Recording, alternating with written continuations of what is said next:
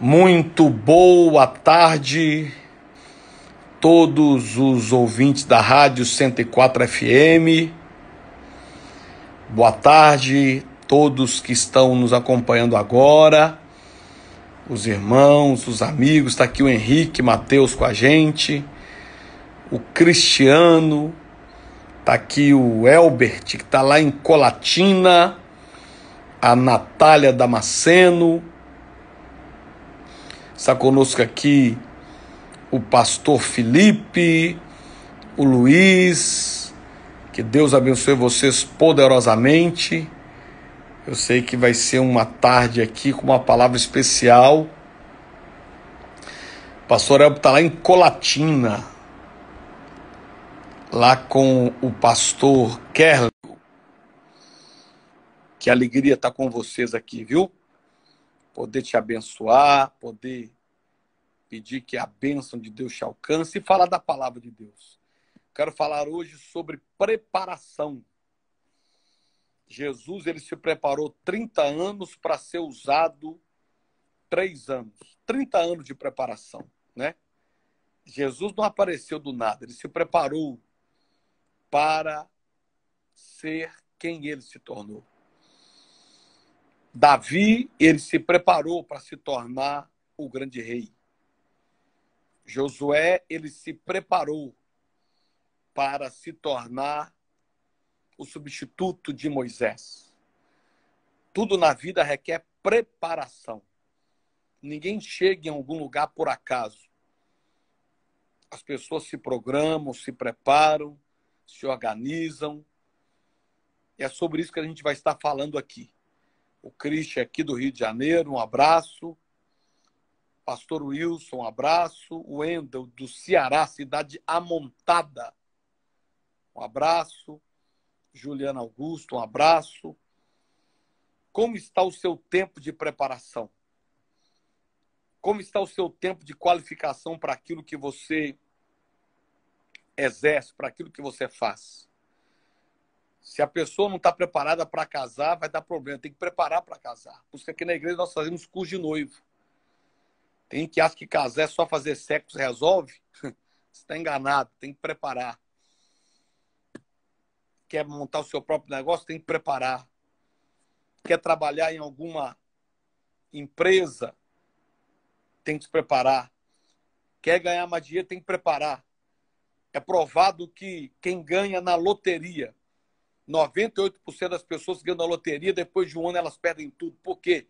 Não estavam preparados nem para ficar rico, é isso mesmo. Até para ficar rico você tem que estar preparado. Então nós vamos falar sobre preparação. Preparação é muito importante.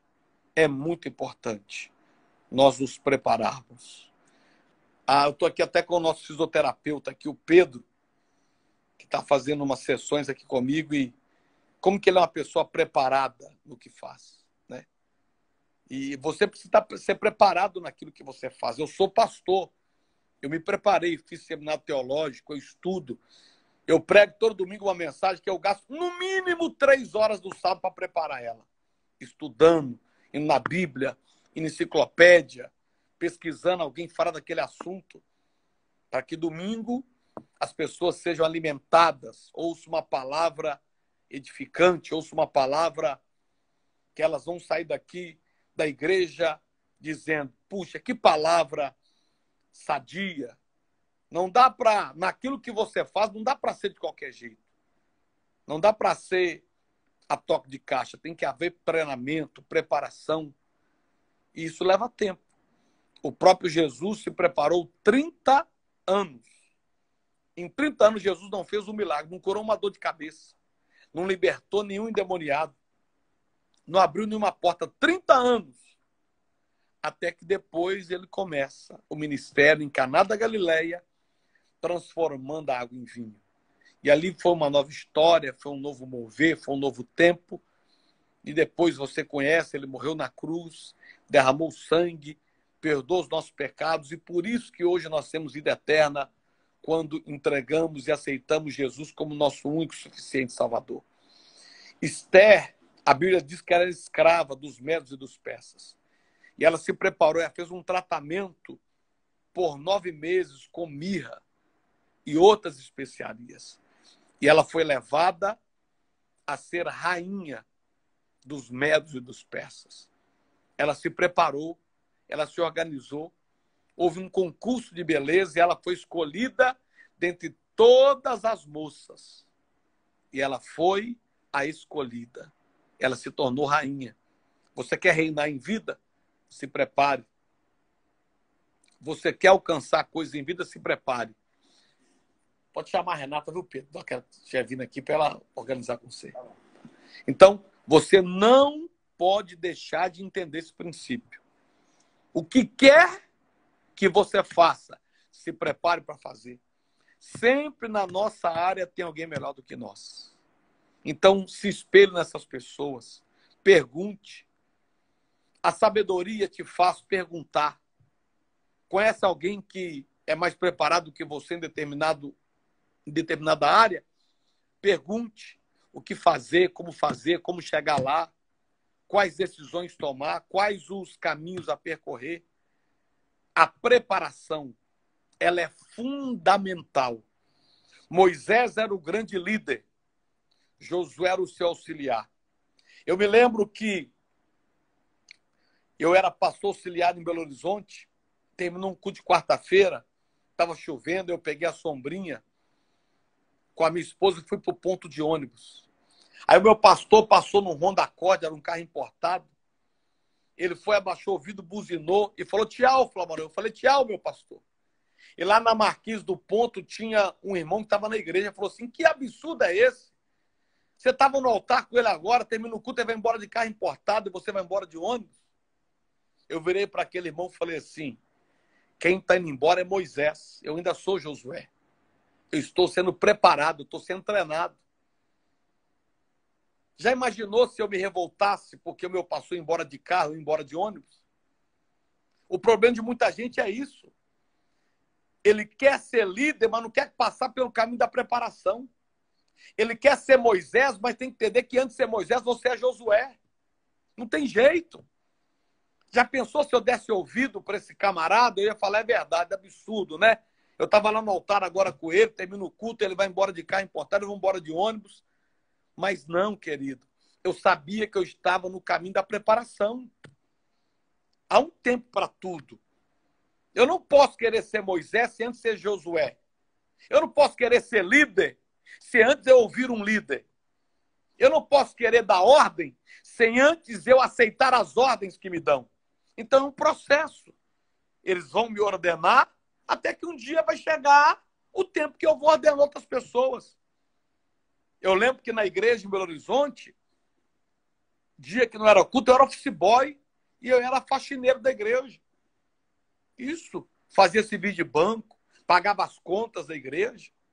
Eu ia para o banco, comprava pão de tarde para todo mundo.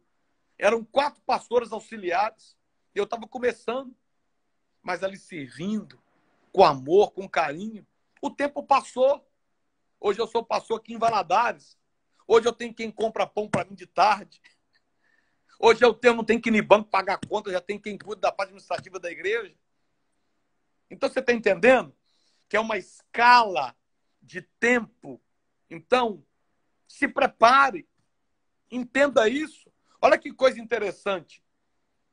Jesus, ele se preparou. Jesus, ele entrou na fila do batismo. João Batista, que era um pecador, Jesus foi batizado por ele.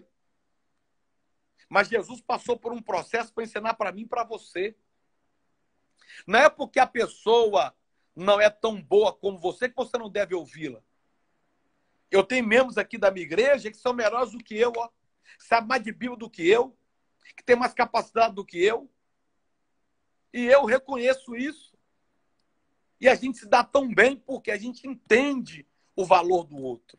Então, a palavra de hoje é preparação. Quer o que for que você faça, se prepare, se dedique, faça o melhor. Se prepare aqui, ó, pastor Joseph, ó, meu amigo, meu filho amado está lá no Rio de Janeiro. Um homem preparado.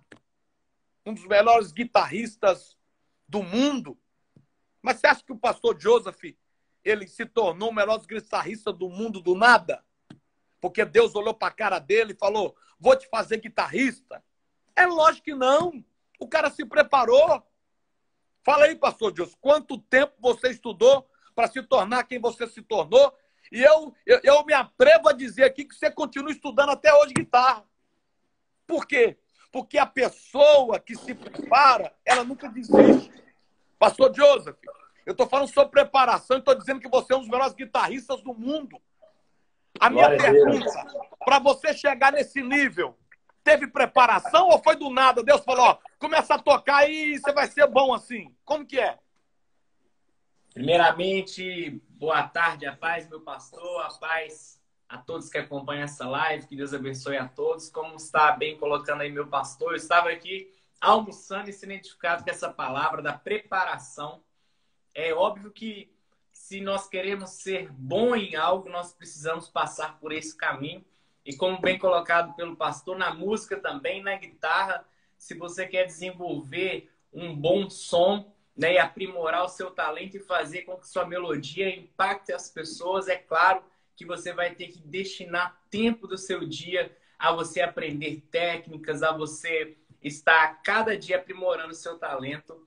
E é claro, com certeza, que assim você vai conseguir alcançar resultados na sua caminhada musical e se aplica a qualquer outra área da sua vida.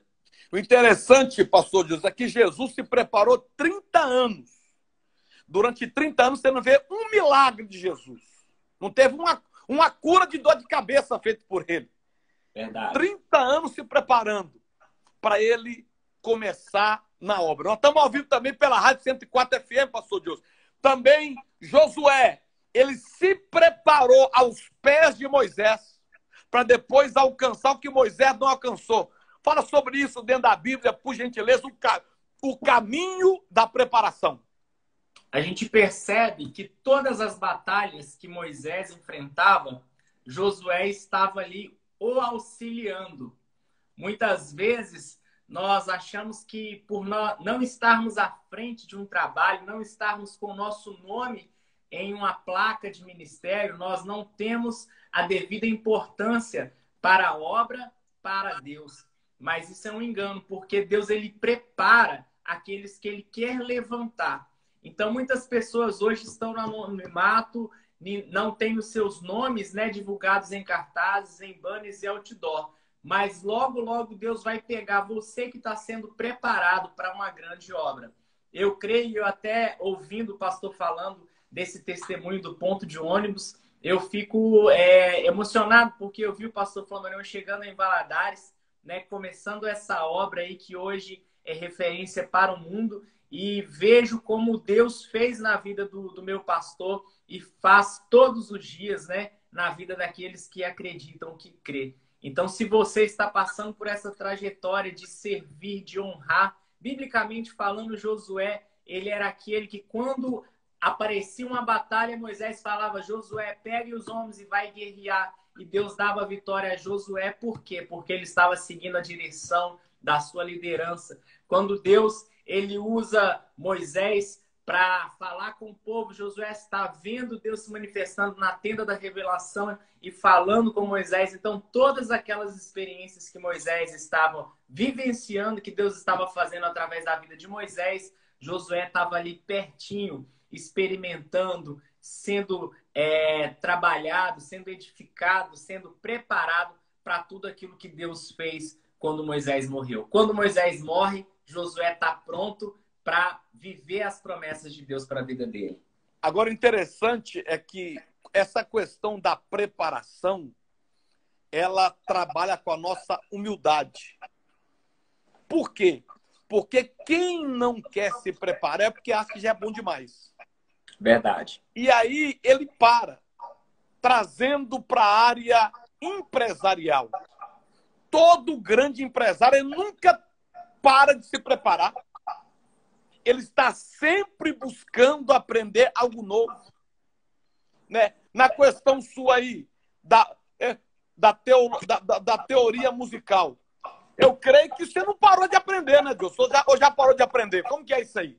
Eu estou aqui, pastor, no meu quarto de estudo. Então, se, se você olhar nessa ala aqui do quarto de estudo, é só instrumento musical, é só livro didático, é só teoria musical, porque o mundo ele está em constante evolução. O que eu aprendi ontem já não, já não se aplica mais da mesma forma. Não é que não tem mais utilidade, mas é que as coisas vão evoluindo dia após dia. E se eu ficar com aquilo que eu me formei lá no ano de 2018, eu vou ficar ultrapassado. Então, todos os dias eu tenho que acompanhar as novas tendências e as mudanças que estão acontecendo em torno de mim, né, da minha cidade, da minha região, do meu estado, do meu país e do mundo, é claro. Maravilha. Pastor Deus, um abraço. Ó. Sexta que vem nós estamos aqui no Labareda, viu? Vai ser forte. Amém, pastor. Um abraço. Deus abençoe. Amém. Fica com Deus. Gente, Amém. nós estamos falando aqui sobre a força da preparação, a importância da preparação. Pega esse aviãozinho aí agora do Instagram e manda para mais pessoas agora, vai. Me ajuda a, a, a pregar o evangelho. Envia, porque tem muitas pessoas que elas precisam ouvir essa palavra. Qual palavra, pastor? Preparação. É muito importante. Ninguém chega em algum lugar se não estiver preparado para estar ali. A preparação te habilita a viver milagres. Eu vou repetir: a preparação te habilita a viver milagres. Deus quer fazer milagres na sua vida. Deus quer fazer maravilha na sua vida. Deus quer fazer o sobrenatural na sua vida. Mas para isso acontecer, você tem que estar preparado. Você precisa se preparar. Você necessita. Nunca pare de se preparar. Todo dia se prepare. Todo dia cresça mais um pouco. Todo dia aprenda mais um pouco. Todo dia deixa Deus te ensinar mais um pouco. Aquele que se prepara, o próprio Deus incumbe de colocá-lo em lugares altos. Aquele que se prepara, ele é diferenciado. Deus te chamou para você ser diferenciado. Deus te chamou para você estar em lugares altos. Deus, ah, se você recebe, dá um glória a Deus aí por gentileza. Se você recebe, diga amém por gentileza. Nós temos que nos preparar constantemente. Jesus se preparou 30 anos. Está aqui meu amigo Marlon. Marlon, servo de Deus, cantou ungido, preparado pastora Silvana, uma mulher de Deus preparada, pastor Gabriel, lá da Bahia, um homem preparadíssimo. Então, cada dia você tem que se preparar. A cada dia você precisa se preparar. Pastor Gabriel, meu amigo é da Bahia, estamos falando sobre a importância da preparação. Libera uma palavra sobre isso aí para os ouvintes da rádio e para quem está conosco aqui ao vivo, a importância de se preparar. É forte, pastor. É, Mike Murdock, em um dos seus livros, ele vai lembrar da história daquele filme, Karate Kid, que diz assim, ó, aquela criança, quando estava sendo preparada pelo mestre, de repente coloca o mestre na, na mão dele uma flanela para limpar carros e um pincel para pintar cercas. E aquele garoto achava que já iria começar aprendendo os golpes, os manejos da, da arte, das artes marciais. Só que olha que interessante. O garoto, em algum momento, ele vai interrogar e vai dizer assim: Poxa, mas eu estou aqui para aprender a lutar, e de repente coloca um pano na minha mão e coloca um, um pincel para me pintar cercas. Mas aquele garoto mal sabia que o treinador, o mestre, já estava ali treinando as mãos dele para lá na frente ele aprender alguns golpes e ganhar habilidade. Pastor Flamarion, existe sucesso para todas as pessoas, mas para chegar no sucesso, você tem que passar pelo processo. E o processo é a preparação. Tem pessoas que às vezes estão passando por situações na vida, por momentos difíceis, e mal sabe ele ou ela que é Deus já preparando para um lugar de vitória lá na frente. Às vezes, esse choro que você está passando, essa luta que você está passando no meio da tua casa, da tua família, essa dificuldade financeira que você está passando, talvez esse problema emocional, é Deus preparando as tuas mãos, é Deus colocando um pincel na tua mão, é Deus colocando uma flanela na tua mão, e talvez você diz assim: eu não estou entendendo nada, mas é o Mestre preparando você para o lugar forte que está para vir aí na frente. Então, tem coisas que a gente não entende agora, que na verdade é Deus preparando para dar habilidade para nós vencermos. Ou seja, a preparação, ela é um caminho a ser passado. Isso. Repara que a preparação muitas vezes te leva para o deserto. É verdade. Só que deserto não mata crente. Deserto é faculdade não. de crente. Né? É verdade. Deserto que você pega o curso de doutorado, de mestrado, Isso. doutorado em luta, mestrado em batalha, pós-graduado em provação. É Essas forte. graduações nós as alcançamos é no deserto. Então, é se você está no deserto, meu amigo, que me ouve agora na Rádio 104 FM, você está na faculdade de Jeová. Meu você está na faculdade. Não foge da sala de aula, não. Não. Não desiste da faculdade, não. Não é desiste, não. Não. Passa na matéria. Tem matéria chamada traição. Isso. Tem matéria chamada ingratidão. Tem matéria chamada é, esquecimento, tem matéria chamada pessoa que um dia você estendeu a mão de finge que não te conhece. Então, você não pode fugir dessas matérias, não é isso, pastor Gabriel? É verdade. E às vezes, quando você está passando por essas matérias, você vai ter que abrir mão de coisas que você gostaria de fazer, justamente porque é a prova, é o teste para você passar. O pastor Flamarion, eu lembro que na época que eu fazia pós-graduação aqui na Bahia, em um lugar chamado Corredor da Vitória. É um lugar muito, digamos assim, tem muitas mansões, um lugar muito rico e tal. É, a cantora Ivete Sangalo tinha uma, tem uma casa do lado da, do, do hotel onde nós. Eu entrava na sala de aula sexta-feira e saía na, da sala de aula no domingo à tarde a, a, o, o, paredão do hotel mostrava assim, de frente para a Bahia, né? Daqui, que eles chamam Bahia de Todos os Santos, mas é a Bahia de um santo só, Jesus. Aleluia!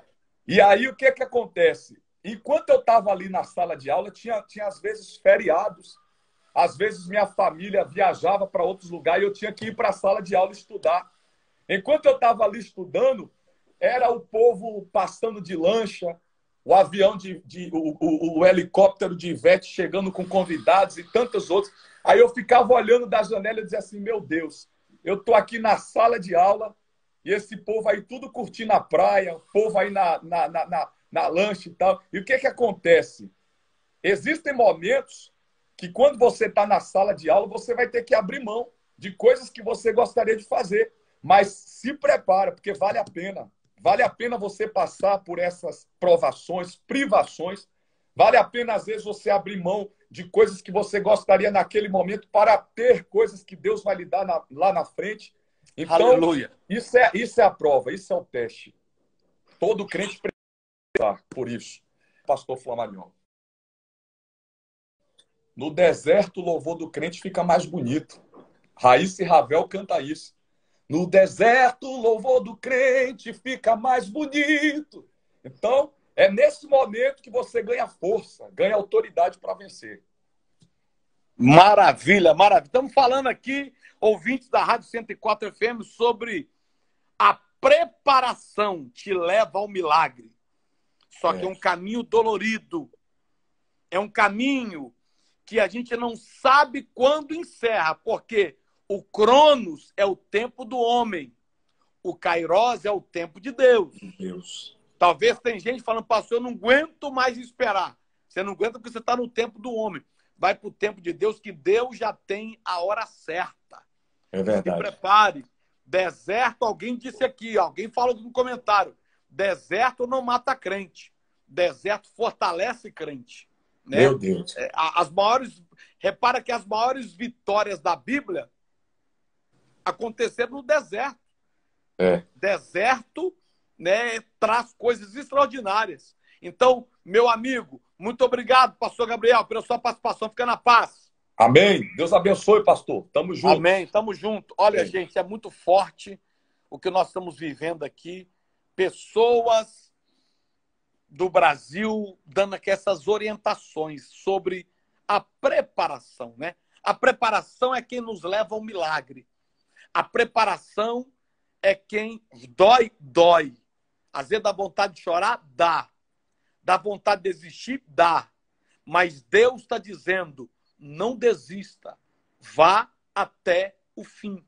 Você está num processo. Você está num processo.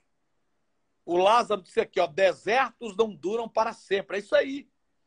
O JL diz, deserto é lugar de milagre. É isso aí. Pastor Renato está dizendo. Isso aí, meu Abraão. Então, nós estamos passando por um momento. Mas esse momento não é para sempre. Esse momento não vai ser eterno. Esse momento não vai ser para sempre. A Abre disse assim, ó, deserto fortalece crente. É isso mesmo. Então, eu quero estar orando agora por vocês. Orando, abençoando a sua vida, abençoando a sua casa, abençoando a sua família.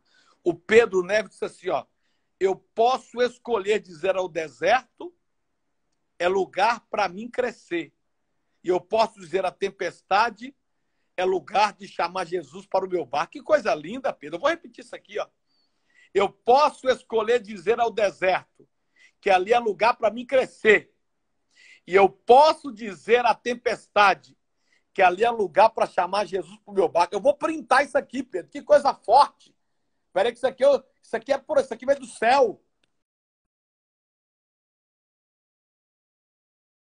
Graças a Deus, é tanta gente boa que vai liberando palavras aqui, ó. Pastor Eberson está dizendo, Pastor Eberson é lá de Oliveira, meu amigo deserta a escola de profeta. Nosso Pai amado. Pastor Elbert Fernando está falando aqui, ó.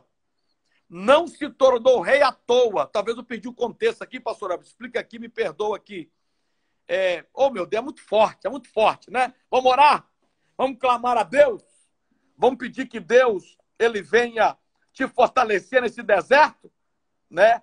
Vamos, vamos lá, vamos falar com o Pai. Eu queria convidar um pastor aqui para orar, para chamar você ao vivo aqui para orar na Rádio 104 FM. Quem pode orar comigo aqui ao vivo, só manda um oi aqui. A Uzene disse assim: ó, sabemos que Deus está no controle de tudo. Mesmo da tempestade, ela vai passar. Louvado seja Deus. Eu creio também, creio desse jeito. Eu creio desse jeito, viu? Eu acredito desse jeito. A tempestade passa. Nada dura para sempre. Meu amigo, Oi, pastor, pastor, Faz a oração, meu amigo, que eu estou na rádio de 10 de meia-dia, meia, meio dia, meia, a meio-dia e 30. Entra nos abençoando, pastor Veto. Agora é momento de oração. Amém. Vamos lá, em nome de Jesus. Querido Deus e querido Pai, Deus, em nome de Jesus, nós louvamos e bendizemos ao teu nome. Pai amado, sabemos que há tempo para tudo e que o Senhor tem preparado um novo tempo para a nossa vida, um novo tempo para os teus filhos que estão nessa live, um novo tempo o Senhor tem para nós. E nós estamos, ó Pai amado, sendo preparados pelo Senhor para coisas novas, para as coisas grandes que o Senhor tem para oferecer à nossa vida. Abençoa cada um dos teus filhos que estão ouvindo este programa neste momento. Alcance, Pai, os teus filhos que estão passando por momentos difíceis, momentos de dificuldades, que o Senhor venha alcançá-los, que o Senhor venha derramar sobre eles eles a bênção do Senhor, a graça do Senhor, em nome de Jesus. Nós abençoamos todos os teus filhos, em nome do Pai, do Filho e do Espírito Santo de Deus. Amém. Deus Amém. abençoe. Glória a Deus. Obrigado. Amém. Amigão, você está aqui sexta que vem no Labareda, né? Estaremos aí em nome de Jesus, firmes e fortes. Amém. Deixa eu só falar aqui, ó. Pastor Elvis mandou aqui, ó. Pastor Elvis, Davi não se tornou rei à toa. Ele teve uma preparação no deserto. Boa palavra, pastor Elton. Boa palavra. Verdade. Davi não se tornou rei à toa. Né? A Betânia falou aqui, ó. Deserto da traição. Que o Senhor continue derramando graça e chegue com vitória. Amém. A Amém. Adriana disse assim: ó, no deserto o louvor fica mais bonito. Ô, Glória! é verdade. Aí, no deserto todo mundo vira compositor. Aqui, ó, a Cachoeira está dizendo: as lutas servem para que possamos chegar até Deus. Pena que eu tenho que terminar a live aqui, porque eu já estou no horário.